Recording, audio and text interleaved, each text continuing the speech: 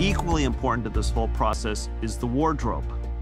We have a costume designer named Ruth Carter to make sure that both Africa and the United States represent history as it was. What I'm trying to do with this New Roots is bring a lot more detail uh, to the story. Since we go through several eras in Roots, I'm constantly looking at research and making sure that I'm hitting the mark. Photography was not invented until 1840, and we start in 1750.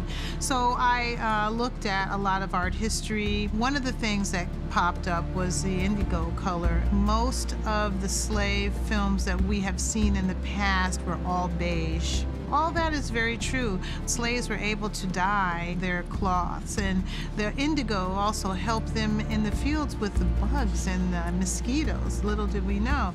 And so we talked about the indigo that, that also goes back to the Mandinka culture and tribe in Africa and that their cloth was this indigo blue. And when you see color, it just evokes emotion.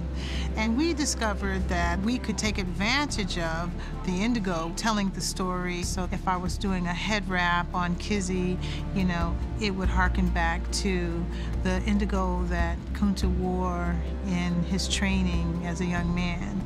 And, you know, without being too obvious, you know, trying to keep something as simple as the color blue continual throughout our story.